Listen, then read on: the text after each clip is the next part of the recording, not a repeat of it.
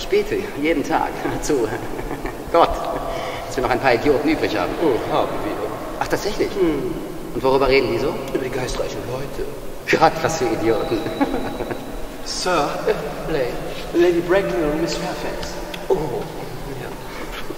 Dann heiratet ihr schon wieder, wer heiratet will. Ich, und, wer heiratet und wer heiratet? Ich heirate. Ach, wir Ist eigentlich völlig egal. Zwei, eins. Zum Wohle! Auf die Hochzeit!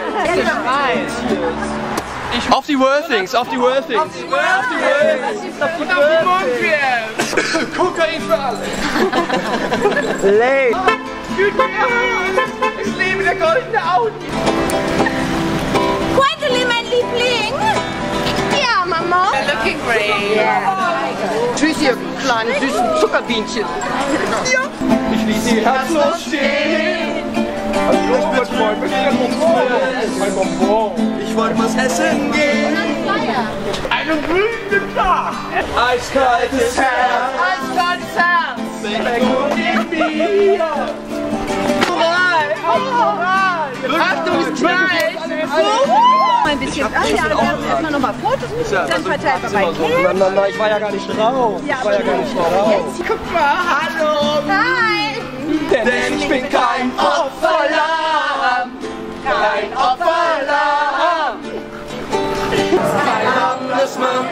einfach so. Einfach opfern kann. Na, Louis. Ja, nur Gwendolyn ist in Ordnung. Die macht das alles gut. Na, na, na, na, na, na, na. Na, na, na, na, na.